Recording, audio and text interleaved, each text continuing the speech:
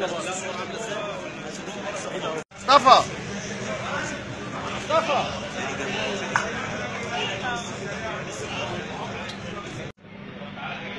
بص بقى يا معلم اسمع الكلام بس روح خدها من هناك.